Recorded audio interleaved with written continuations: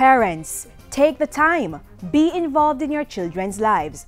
As we observe Parents Month, we encourage you to spend quality time with the little ones. Yes, providing financial support is important, but being involved in their day-to-day lives is equally vital to them becoming useful contributors to Jamaica land we love. Hello and welcome to another edition of Jamaica Magazine. I'm your host, Andrea Chisholm. On the show today, we'll hear from the Center for the Investigation of Sexual Offences and Child Abuse about how important it is for parents, guardians and communities to play an active role in the safety of our children. We'll also look at how government is helping youth realize their dreams. Those plus other information are wrapped up in today's magazine. Stay with us.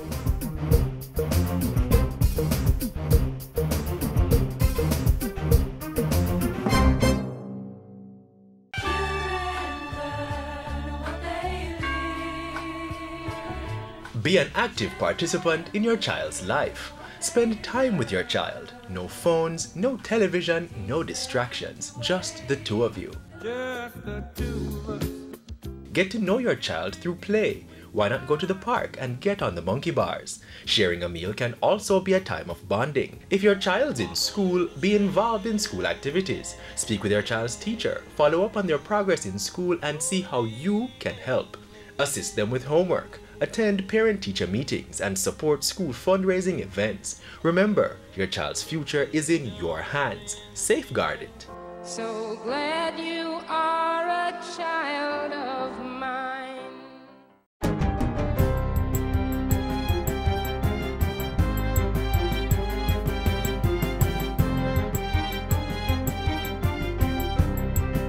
Good day, I'm Tamara McHale and this is your JIS News for Monday, November 23.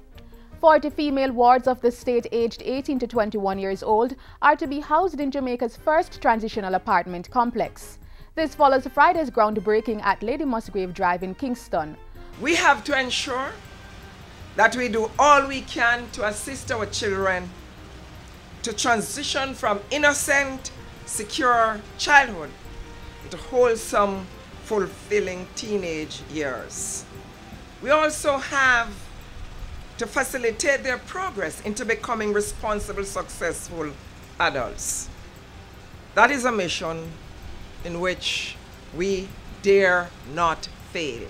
The $1.45 million Transitional Living Program is a collaboration involving the Child Development Agency, USAID, UWI Open Campus, Caribbean Child Development Center, and the Social Welfare Training Center.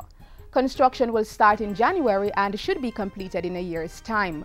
Over the two-year period that the girls will be living at the apartment, they will be exposed to skills training, mentorship, and job opportunities. Prime Minister Portia Simpson Miller said the USAID and other stakeholders had pledged to replicate the program in St. Elizabeth for 40 males in state care. The UWI Open Campus also announced that it would be offering one-year education scholarships for 30 female and 15 male wards of the state. Residents of Gregory Park, St. Catherine are now benefiting from a $15 million community resource center. Opened recently, the building was constructed under Phase 2 of the Community Empowerment and Transformation Project COMET. It's funded by the United States Agency for International Development. The Resource Center boasts an office for community development officers and spaces for civic events, business enterprise activities, and community-based policing. It also has water catchment facilities, solar panels, environmentally safe waste disposal, and disaster risk reduction equipment.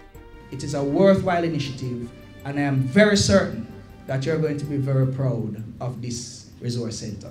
So I'm very pleased that this space has been made available for the police to be here and to reassure and to serve and to protect the residents Comet 2, which targets 25 communities in Kingston, St. Andrews, St. Catherine, Clarendon and St. James, seeks to build the capacity of communities to prevent crime and other social issues. Government is undertaking a combination of measures to deter persons from stealing electricity across the island. These include the imposition of a $1 million fine and imprisonment for persons found guilty of electricity theft greater public education campaigns, and the implementation of technology so that persons cannot breach the power systems. But very importantly, the government has recently established NESOL. It's a new company that will continue to provide rural electricity, but also to engage in providing infrastructure in various communities where the activity of theft is prevalent. Energy Minister Phillip Paulwell says the measures are guided by the new Electricity Act, which seeks to provide a modern codified system for regulating the generation, transmission, supply, distribution and dispatch of electricity. Minister Paulwell was speaking during a recent CARICOM Energy Week school tour at the Harborview Primary School. Expectations are high for the planned liquefied natural gas hub on Jamaica's south coast. Industry Minister Anthony Hilton says the LNG hub will be a magnet for ships passing through the expanded Panama Canal. The U.S. government's decision to permit the shipping of LNG to Jamaica is indeed catalytic to the revival of Jamaica's status as a maritime state. The minister made the remarks at the recent Leadership Dialogue and Colloquium Forum. It was staged in partnership with the U.S. Embassy, Futures Forum, and the Institute of Caribbean Studies at the University of the West Indies. Government is targeting international financial services, bamboo, the creative economy, medical cannabis and hemp as growth areas to fuel Jamaica's economy. We believe that these industries will be the source of future investment. These investments are also facilitated with the knowledge that they will create opportunities for our MSMEs and entrepreneurs to provide support services. Industry Minister Anthony Hilton was speaking during a business forum to mark Global Entrepreneurship Week. And finally, the Caribbean Maritime Institute, CMI, is being lauded for its approach to training Jamaicans based on industry demand. Transport and Works Minister Dr. Omar Davies gave the commendation at a ceremony where 120 students graduated from the institution with certification in logistics, shipping and industrial engineering. 95% of the graduates have already been placed in jobs. The CMI, in its own way, is showing the direction in which tertiary education must go in terms of not training persons, certifying persons, and hoping that somehow they'll fit in, but certifying persons with a specific objectives in, in mind. And that's it for JIS News today. I'm Tamar McHale. Thank you for watching.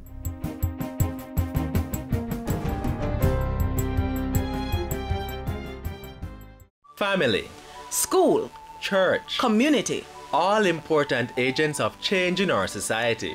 They influence what we think about ourselves, our surroundings, and how we see the roles of males and females. Let's all work together for equality for all Jamaicans. Let's make Jamaica a place where both males and females have equal access to a good education, good jobs, the best healthcare, and opportunities for the good of the country. Males and females are different, but it doesn't mean they're not equal. Let's build a Jamaica that doesn't discriminate. Become an agent of change. Catch up on last week's engagement from the ministers in the Office of the Prime Minister next.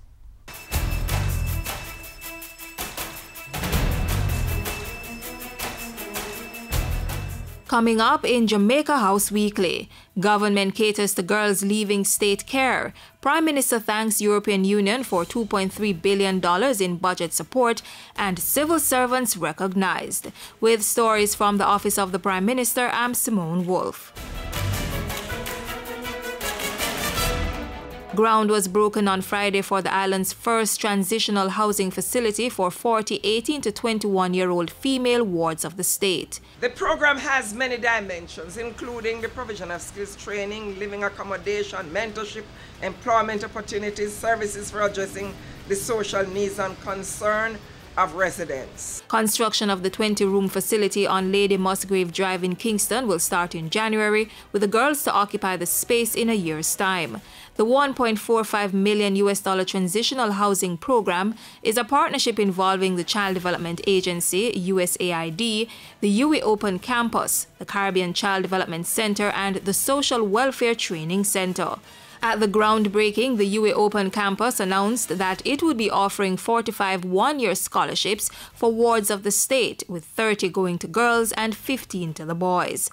It was also revealed that the USAID was in discussions to create a similar transitional living program for 40 young male wards of the state in St. Elizabeth.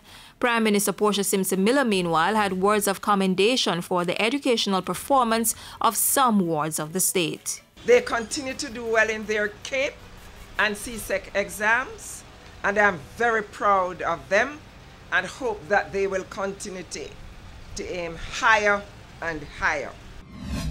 On November 17, the Prime Minister signed an agreement with the European Union for the disbursement of two budget support payments totaling $2.3 billion.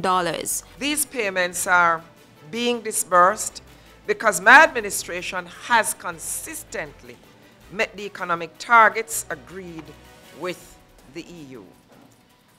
Furthermore, I believe these payments represent a vote of confidence by the EU in the government's successful implementation of the economic reform program.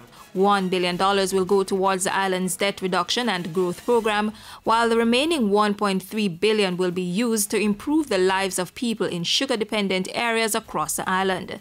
The signing also marked 40 years of Jamaica-EU partnership. Before Tuesday's signing, Prime Minister Simpson Miller met with the Director for Latin America and the Caribbean at the European Commission.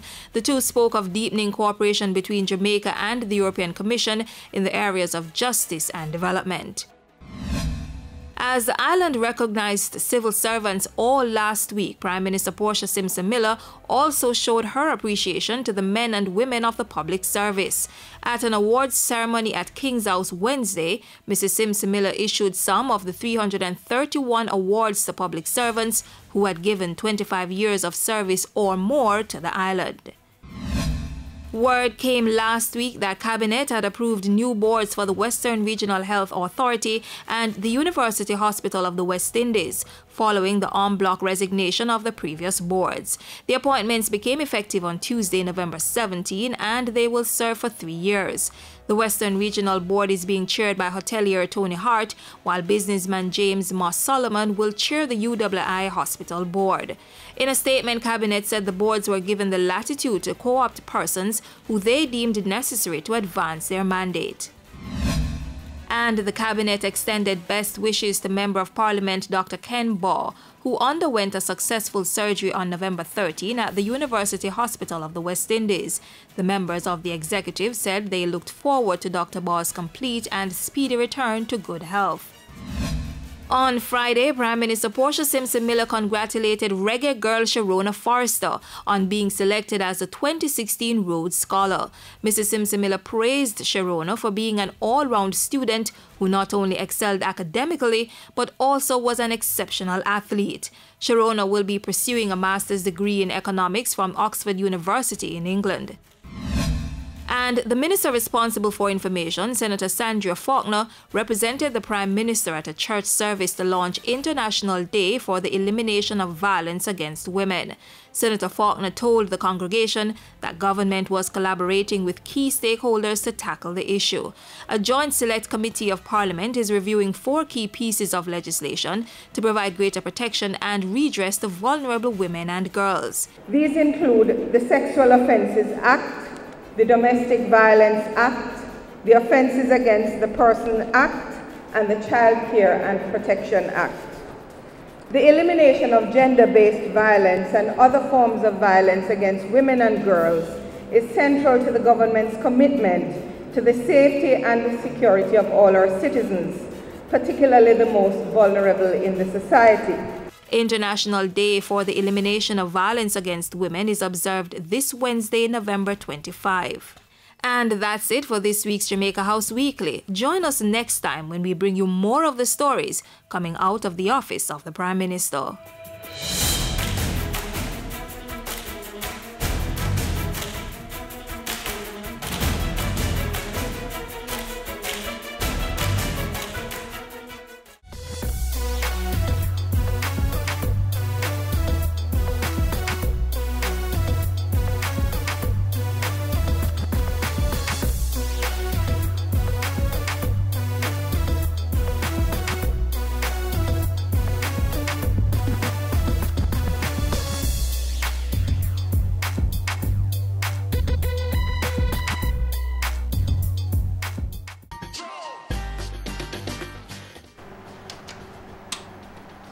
Guys, I'm not ready.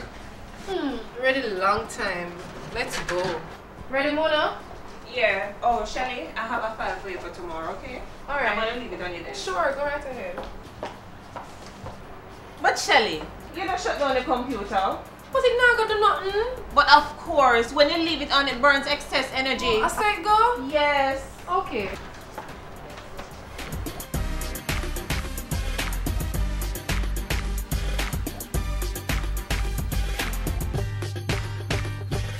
Did you know that the country foots the bill to import the fuel that produces electricity?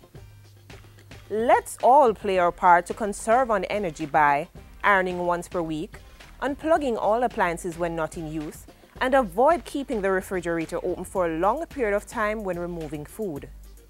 Get smart. Don't get left in the dark.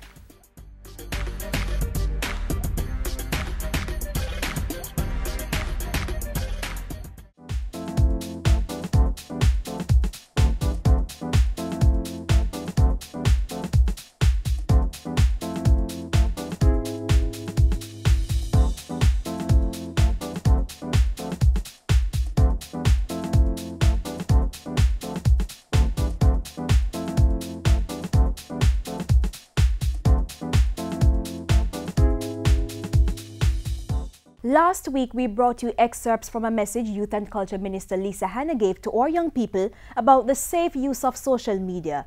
This week, we're targeting parents.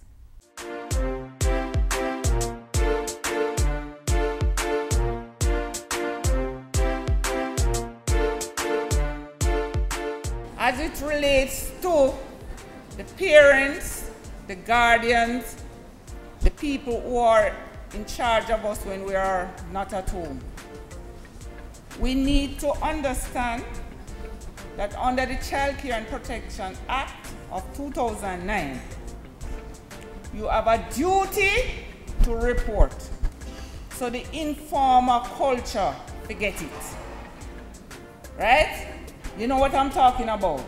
You don't want nobody come call your name. Once you become a guidance counselor, once you become a teacher, once you're a parent, once you become somebody in society, if you tell me you're not getting involved, it means that you are not complying with the law of the land. And just this week, I had a situation from a particular high school where we got information that a particular student sent a text to a particular another student. I sent two of my young detectives there. They found the young miss. We spoke to her, but of course, the situation was not conducive to, you know, to investigate. And so I sent a text to the mother. I don't know the mother, but I believe that if you send a text a little bit more private than calling her at the office and she's talking. So she responded. I identified myself to her and I said to her, I need to see you and your child in the morning. She said, why? I said, because I have some information about your child that I suspect she's been abused and I do not want to talk to you on the phone about it. Can you come? She said, yes. I saw her online. I said, um, I'm here. Where are you? She said, I can't come. I have a meeting at 9 and I'm going to have another one at 1 and another one, so I can't come. I said, okay, all right. So I will make the time I will come for you. The other, the next morning at 8.05, she was at 3 Ruthven Road because I was going for her. Because since, you do, since your child is not important, the meetings are more important, then I will come to you. And when I come to you, based on how I look, they all figure out that I'm a cop anyway. So I'm saying to the people who are prescribed persons, please understand that you have a duty to protect these children, backed up by CISOCA and all the other agencies. And if you don't do it, there are sanctions for your behavior.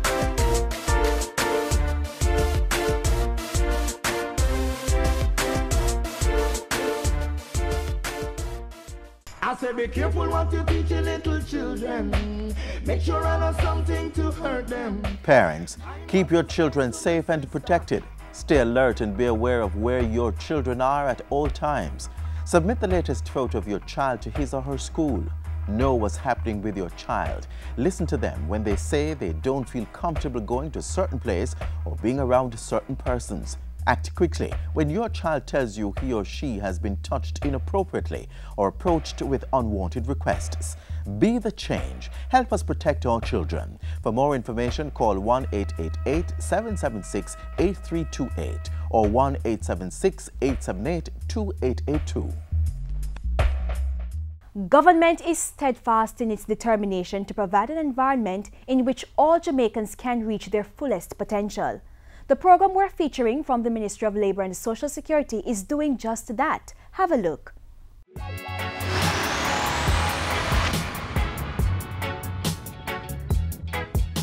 The fact that I'm working from home allows Christina to help in different ways and you know I teach her to um, different um, section or parts of the operation. If I'm on the road and um, I get a call to say, look, uh, Mr. Kelly, I've sent you an email. Um, would you expedite? I would call um, if she's here. I said, look, go on the computer and um, look up this particular email. Open it and, you know, ask for certain specification. Like I'm working with my father, he called me and said, I will open his emails. When I read the emails, like I get it from a client. So here I read it, I say 36 by 24 and you want it. And when you want the way uh, how much copy you need, he make it. If he make it, he deliver it. 24-year-old Christina is a student of Genesis Academy and she has Down syndrome. But this condition has not stopped her from living up to her abilities. Just take a look at all she accomplishes in her spare time as she helps her father in his reprographic business, which focuses on architectural and engineering support services. That's partly due to the assistance father and daughter have received from the Ministry of Labour and Social Security through its agency, the Jamaica Council for Persons with Disabilities. They are the beneficiaries of a Disabilities Economic Empowerment Grant. The Economic Empowerment Grant has been around since 2009 um, and uh, it came out of a concern of the disability community. This Economic Empowerment Grant, as the word states, is to empower the person economically so that they can manage themselves you know, and, and, um, and their families.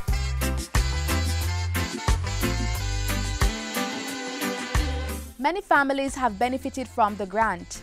And to reach even more, government has increased its budgetary allocation from 15 to 17 million dollars annually starting in the 2015-2016 fiscal year. 10 million of that will go directly towards offering grants to persons with disabilities, and the remaining $7 million will fund the purchase of assistive aid devices.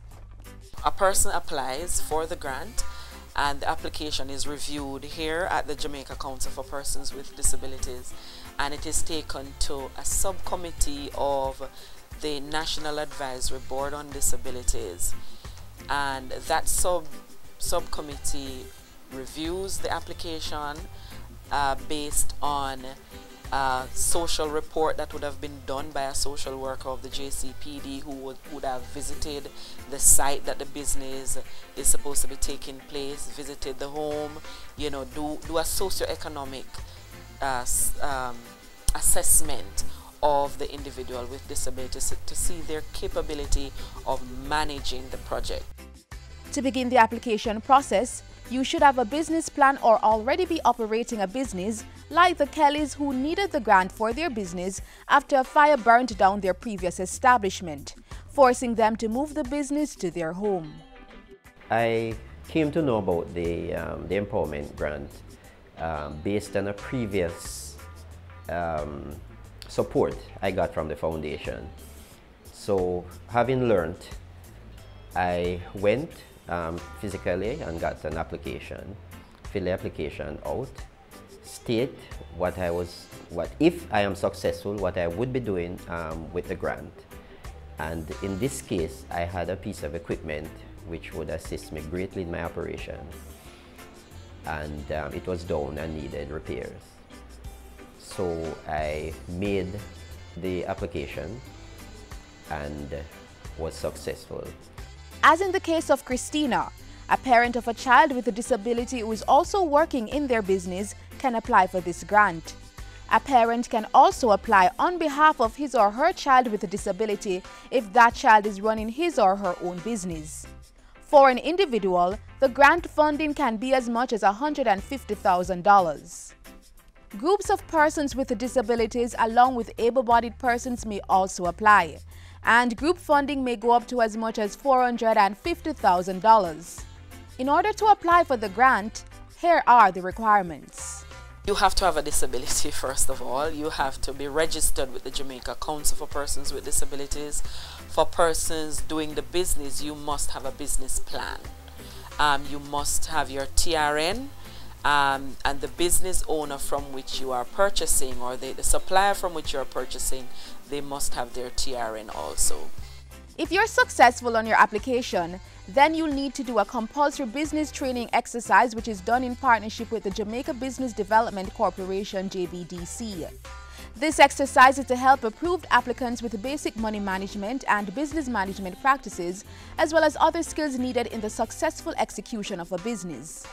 So after they, they have gone through this training, then they can begin their project and they, the, the social workers of the JCPD right across the island does follow up to ensure that the project is, is going well. We encourage the persons in a group or individuals to, to register their business after a while. You know, the business is going well after the training and all of that, and um, they, they should register the business they're also encouraged to ensure that they are contributing to the national insurance scheme so that when they retire, they can benefit.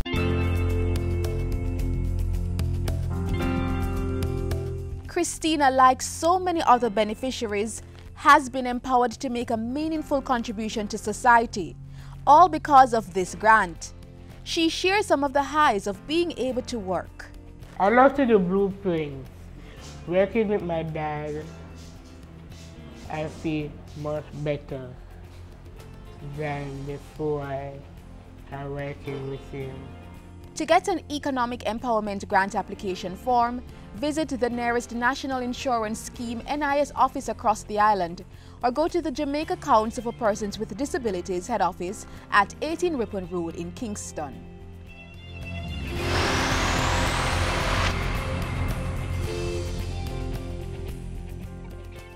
There'll be a better tomorrow.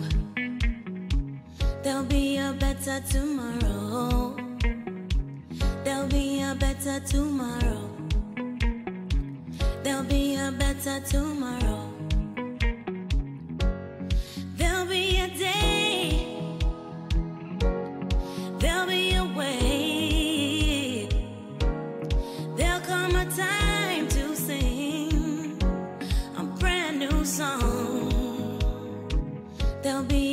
Better tomorrow.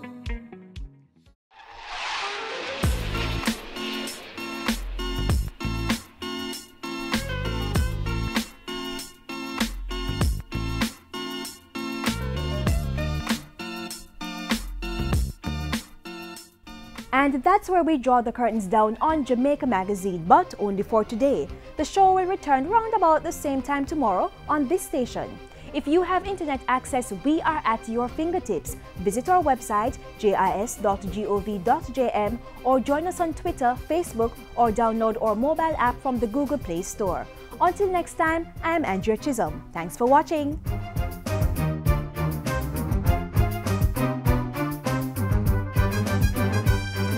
This has been a production of the Jamaica Information Service, the voice of Jamaica.